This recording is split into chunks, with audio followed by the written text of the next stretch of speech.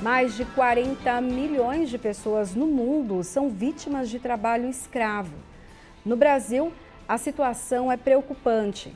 Mais de 55 mil trabalhadores em condições subhumanas foram resgatados durante os últimos 15 anos. Daqui a pouquinho, Priscila, a gente vai falar sobre esse assunto com um, um, especialistas né, que vão falar. Aliás, é, a gente tem iniciativas muito interessantes aqui na Assembleia Legislativa. Em 2014 é, foi é aprovado um projeto que, inclusive, serviu de modelo para o mundo todo, foi citado em outros países, que é, empresas, na época acho que eram sete empresas que foram é, investigadas aqui pelo Parlamento Paulista, é que realmente comprovado o envolvimento no trabalho análogo ao escra à escravidão teria o seu ICMS cancelado. Uhum. Então, assim, foi uma forma de você agir economicamente né, já que a gente sabe que o Estado ele tem limitações para a sua legislação, né, mas eh, pode agir dentro deste campo, é, limitando economicamente é, essas empresas e mesmo sócios que têm problemas com trabalho análogo à escravidão. Então, foi um projeto aprovado aqui, serviu de modelo para outros estados e a gente vai falar sobre esse assunto porque em pleno século XXI, é, né, uhum. a gente sabe que ainda temos esses problemas e a especialista vai detalhar para a gente. É, todo mundo precisa ficar muito atento porque existe tal, o tal trabalho escravo é, digamos, moderno, né? Uhum. E você sabe que eu fiz uma, uma entrevista, o, o Priscila, certa vez, e o, a pessoa que foi é, pega é, no trabalho escravo era um senhor muito simples. Uhum. E ele dizia assim: olha. Não, não tem trabalho escravo, não. A gente dá até comida para eles. Tem mês que a gente dá até carne. Nossa. Então, assim, você vê que é um contexto. Ele Sim. deu a entrevista e ele, dentro daquele contexto, digamos que as pessoas estavam passando fome, você vai eleger quem é que vai comer. Uhum. Então, é, para ele era, aquilo era natural. É, e o, o triste, né, é, escutando relatos de pessoas que passaram por essa situação, que é, viviam nesse trabalho escravo, elas não se reconhecem como Uh, escravos. Então, aquelas pessoas que não tinham direito a sair do, do domicílio para passear, ter um dia de folga ali para passear, para é, viver a vida dela, comprar uhum. as suas próprias coisas. Algumas pessoas, inclusive, eram ali um, pegas, né? Porque não, isso não é uma contratação uhum. legal. Mas para trabalhar em casa, ainda na adolescência, ainda quando crianças ali, seus 12, 13 anos, iam trabalhar numa casa de família, por exemplo, viviam ali, é, como você disse, tinham alimentação e um lugar para dormir. E isso para a pessoa já era o suficiente.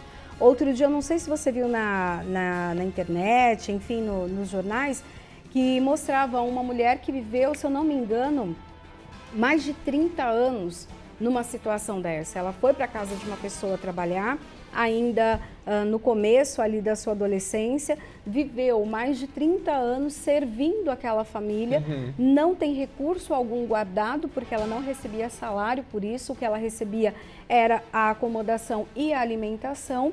E uh, isso foi descoberto e ele foi colocado então uh, para o público, né? Uhum. E esses dias ela inclusive ganhou a primeira boneca da vida dela, uma boneca de pano é, então você vê assim, a, e uma pessoa já quase chegando aos seus 40 anos, é, vivendo a emoção de receber então a sua primeira boneca. Pois é, coisas que, que acontecem até hoje. E olha só, nós vamos falar sobre esse assunto com a desembargadora Ivani Contini Bramante. Ela é bem-vinda, desembargadora.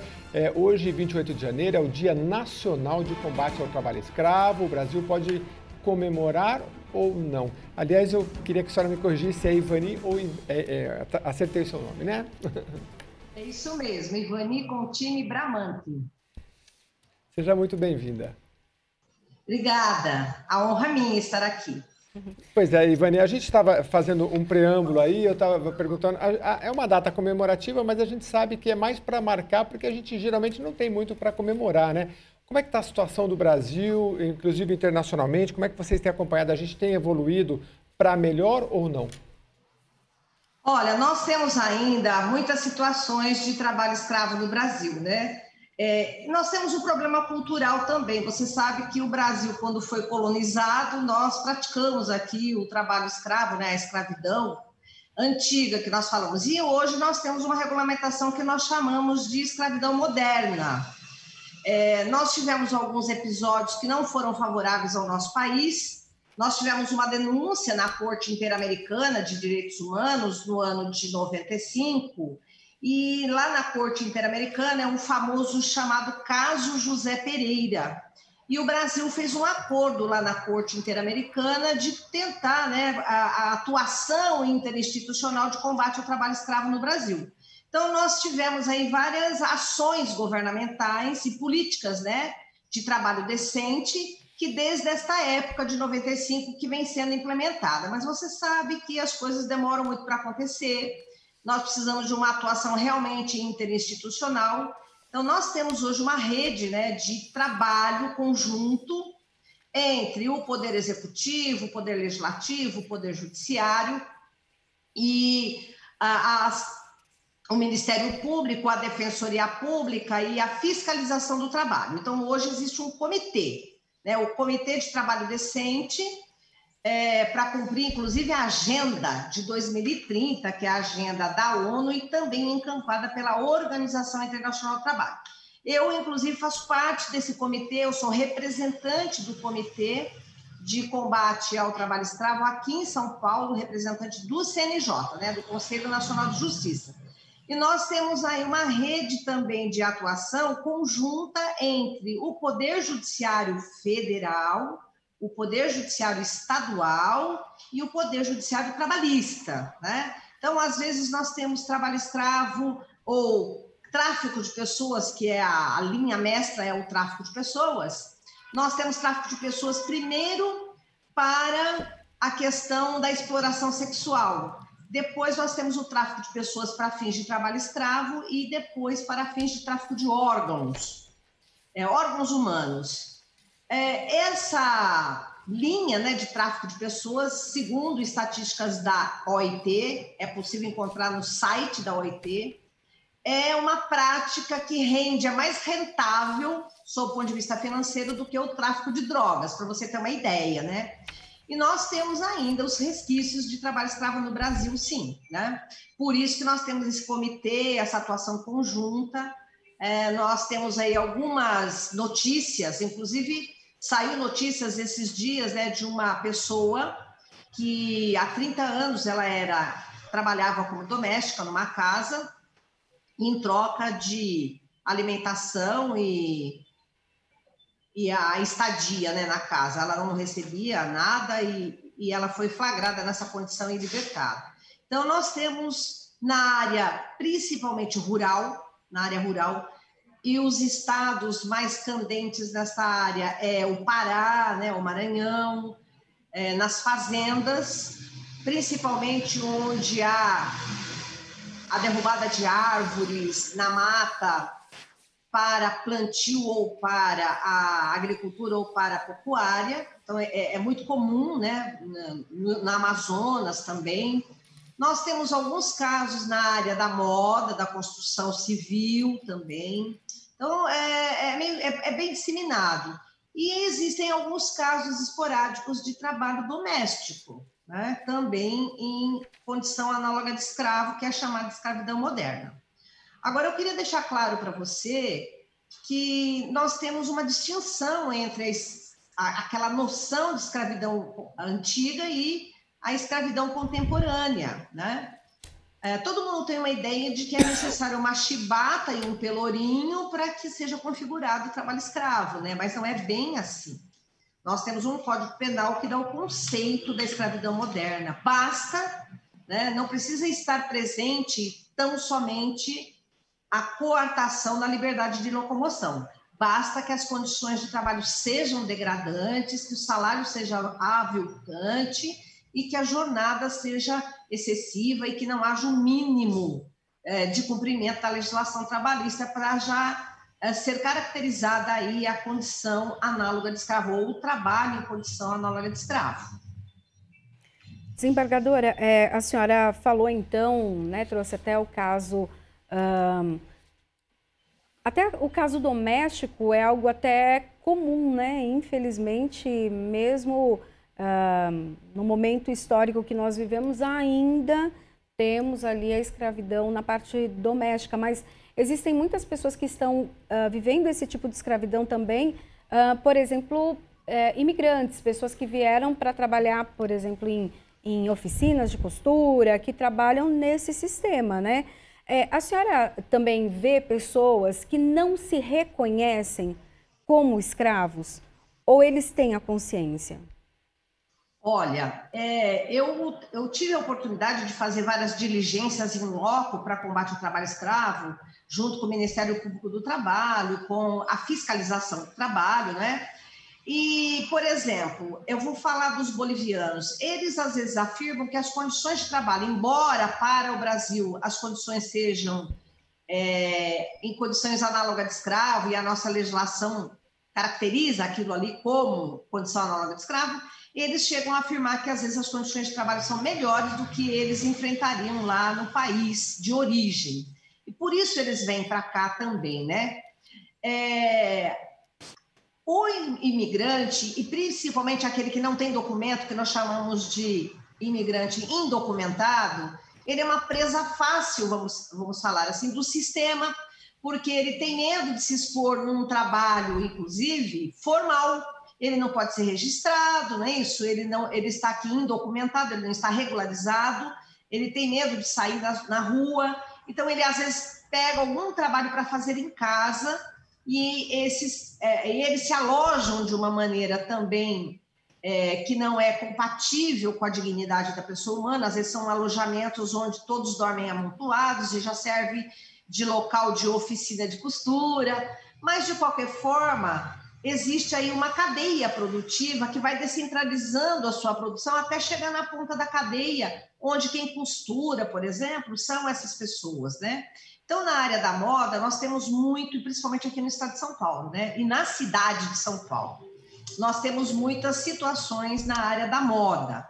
Nós temos alguns imigrantes também na área da construção civil, porque a construção civil também é um trabalho que é sazonal. Às vezes você tem um prédio que está em construção, depois termina, e eles vão é, se rodeando em vários locais, e às vezes eles também se movimentam, né, de uma cidade para outra, ou de um estado da federação para outro em busca de trabalho. E existe aquela pessoa que faz essa ponte, né, entre a, a, o trabalho análogo de escravo, faz a captação dessas pessoas, inclusive, para trabalhar. E isso configura também crime né, de tráfico de pessoas. Aliciar, por exemplo, alguém lá no Maranhão dizendo e prometendo que nós temos trabalho digno aqui em São Paulo, com bom salário, e chegando aqui as condições são totalmente adversas.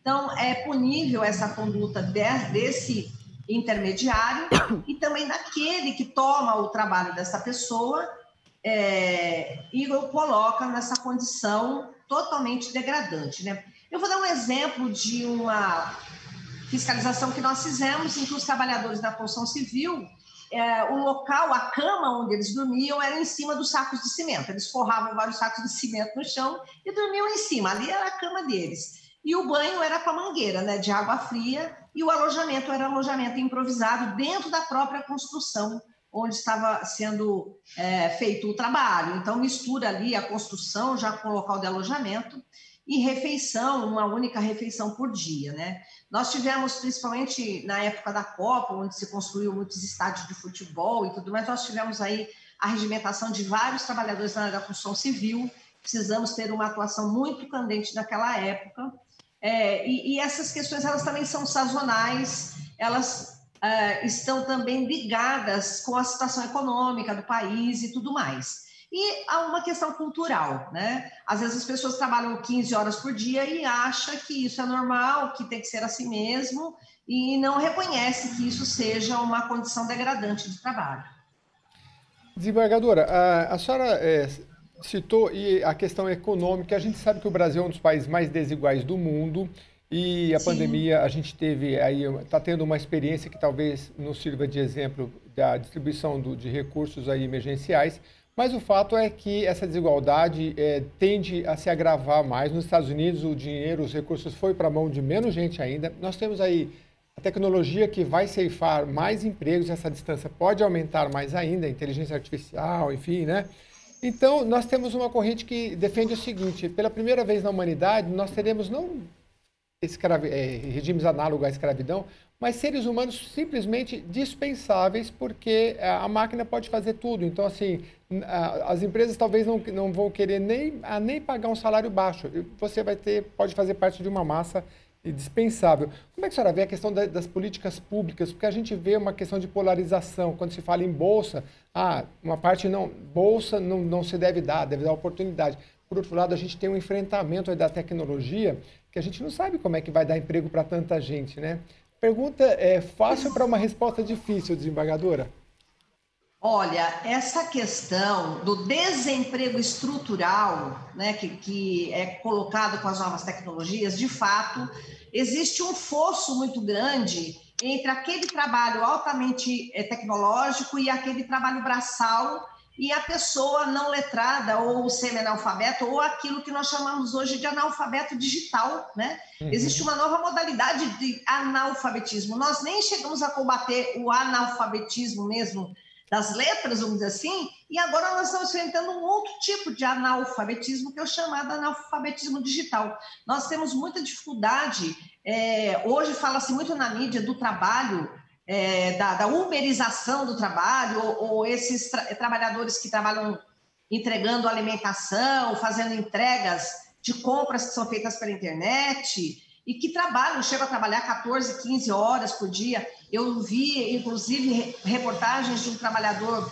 de uberização, que a gente chama, de iFood e outras plataformas digitais de entrega né, de produtos e mercadorias, que ele não tinha com quem deixar a criança e ele ainda fazia as entregas de bicicleta e, e ele bicicletava, vamos dizer assim, com a criança, né? Na cadeirinha na bicicleta, com um esforço maior ainda. Então, nós temos várias situações que as novas tecnologias nos trazem e que pode ser assim, agora nós chamamos sempre de escravidão contemporânea, que é a reduzir alguém à condição análoga de escravo, submetendo o trabalhador a jornadas excessivas ou a condições degradantes de trabalho, ou restringindo por qualquer modo né, a, a, sua libertação daquele estado de coisas, até mesmo por questão de dívidas contraídas, que nós chamamos, às vezes, é, no linguajar comum, política de barracão, onde as pessoas se vinculam com uma empresa, mas ela tem que é, pagar pelo instrumento de trabalho, ela é quem tem que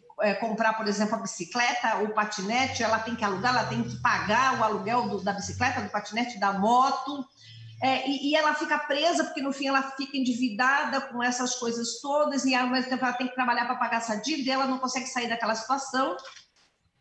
E isso nós chamamos de escravidão moderna, né? E, e, e não precisa cercear o direito de locomoção das pessoas para considerar é, escravidão moderna. E ainda nós temos uma outra questão que eu queria deixar claro, que é o uso desse tipo de trabalho de menores, de crianças, né? É, pelo Código Penal, o crime fica potencializado, é um agravante utilizar crianças e adolescentes nesse tipo de trabalho. E também, às vezes, selecionar, e hoje nós falamos até do algoritmo discriminatório, Sim. selecionar as pessoas que vão trabalhar em razão da raça, da cor, da origem, da religião, que é o, junto com o trabalho escravo contemporâneo, junto com a exclusão digital e a exclusão do mundo do trabalho, vamos dizer assim, e do desemprego estrutural, nós temos também a discriminação algorítmica, porque é possível selecionar, por exemplo, para trabalhar, quando a pessoa se cadastra para trabalhar, selecionar por raça, cor, idade e, e, tudo mais. E hoje existem milhares de informações na internet que cruzam os dados das pessoas e em fração de segundos, pelo cruzamento de dados e de algoritmos, nós conseguimos fazer o perfil completo daquela pessoa, né? Dos pais da mãe, se ela é doente, se ela frequenta muito o hospital, qual tipo de é, produto que ela consome, nós conseguimos fazer o, o perfil das pessoas e selecionar de modo subliminar, sem que a pessoa saiba que está sendo feita essa, essa, esse crivo todo na hora da sua contratação. Então, realmente, a, a Organização Internacional do Trabalho tem essa preocupação. Nós tivemos uma emenda constitucional recente de que acrescentou na Constituição Federal no capítulo das novas tecnologias, dizendo que o governo terá é, aí a missão de incentivar a pesquisa, as novas tecnologias, mas sempre vinculado e direcionado ao bem comum, vinculado com o proveito para a sociedade, que nós chamamos de novas tecnologias pro-homine, né? Na mesma linha da Agenda 2030 da ONU e da Agenda 2030 da Organização Internacional do Trabalho. Então, nossa missão é isso, né? buscar é, essas políticas públicas de combate à, à, escravidão moderna, combate à discriminação, essa questão do trabalho excessivo via algoritmo, das plataformas digitais, que nós estamos chamando isso de uma nova escravidão moderna, né? da neo-escravidão moderna, porque agora, à luz dos algoritmos e das plataformas digitais, realmente é um desafio, né? é um desafio para todos nós, para a sociedade, e ainda um desafio de fazer valer aí os direitos humanos fundamentais diante de todas as novas tecnologias e essa avalanche que nós estamos vivenciando de transformações. Você veja que o Covid-19 isolou todas as pessoas, o modo de trabalho mudou, o modo de oferta de trabalho mudou, cada um está se virando como pode, e alguns que sobreviviam simplesmente da mão de obra braçal estão realmente em dificuldades, né? porque nós temos aí uma reviravolta do modo de oferta de trabalho é, no mercado de trabalho. Doutora desembargadora Ivani Contini Bramante, é, integrante da equipe de trabalho escravo e tráfico, de pessoas do TRT, Tribunal Regional de Trabalho. Muito obrigado pela sua participação mais uma vez aqui no Jornal da Rede Alesp. Eu é quem agradeço a oportunidade de dar esses esclarecimentos, porque uma das missões da comissão de combate ao trabalho escravo, trabalho infantil e, e também propugnar para um trabalho seguro, né, para evitar acidentes de trabalho, é a conscientização. Então, a Alesp está dando aqui uma oportunidade para que nós possamos passar para o público esses conceitos, essa visão e deixar claro que se vocês souberem de, de algum caso de tráfico de pessoas ou algum caso de trabalho escravo que façam a denúncia. Né? Existem aí os canais de denúncia no Ministério do Trabalho e Emprego, no Ministério Público, basta entrar no site do Ministério Público e também no portal lá do Tribunal Regional do Trabalho. Nós temos uma ouvidoria também, basta entrar em contato conosco. Né? É, a Defensoria Pública, nós temos Secretaria de Direitos Humanos também aqui em São Paulo, que nós temos vinculação num trabalho conjunto e eu fico aqui à disposição também de vocês para uma próxima oportunidade e agradeço. Obrigada, desembargadora. Ótimo dia para a senhora. E a gente segue aqui o Jornal da Rede Alesp. É, e o Dia Nacional de Combate ao Trabalho Escravo também é destaque no Diário Oficial de São Paulo nesta quinta-feira. Hoje, o Brasil comemora o Dia de Combate ao Trabalho Escravo com o intuito de chamar a atenção para a necessidade de acabar com as violações de direitos humanos no ambiente de trabalho. Em São Paulo, o destaque nesta data fica por conta das propostas aprovadas pela Assembleia Legislativa nos últimos anos e que são usadas como exemplo no combate a esse crime. É, você sabe que em 2013 os deputados paulistas aprovaram a Lei 14.946, que aumentou o rigor na punição para quem explora trabalhadores em condições análogas à escravidão. É, o Código Penal já tipifica como crime práticas como essa, mas a lei paulista inovou ao atingir economicamente os infratores. Empresas flagradas fazendo uso de mão de obra escrava terão, a partir dessa lei, tem a partir dessa lei, sua inscrição no ICMS cancelada, o que na prática significa que o estabelecimento vai precisar fechar as portas.